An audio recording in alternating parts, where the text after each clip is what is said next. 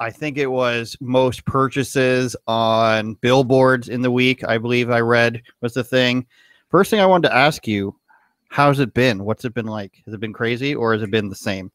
Oh, it's crazy, bro. Uh, it's, it's, crazy because I didn't even want to make the song, and even after I made it, I didn't think it was gonna go viral because I don't. I didn't think it had the trend feel to it because I like rugged sounding uh, music, like real sounding music. So uh, I didn't think it was gonna go viral. So for it to go that far is crazy.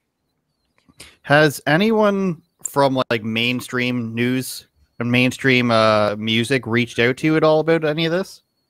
No, uh, popular YouTuber did in hip hop community. Um, he hit me up because he said I was doing research and this has never happened before.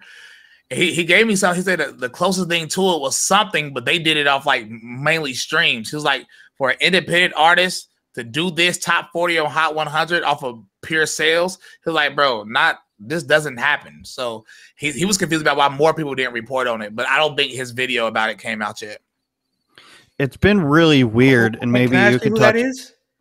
Uh, what's his name? It was like y- yes, Yassine or Yassine or something like that. Oh no, okay. He got like two hundred and something thousand subscribers. I thought you were talking about Akademiks.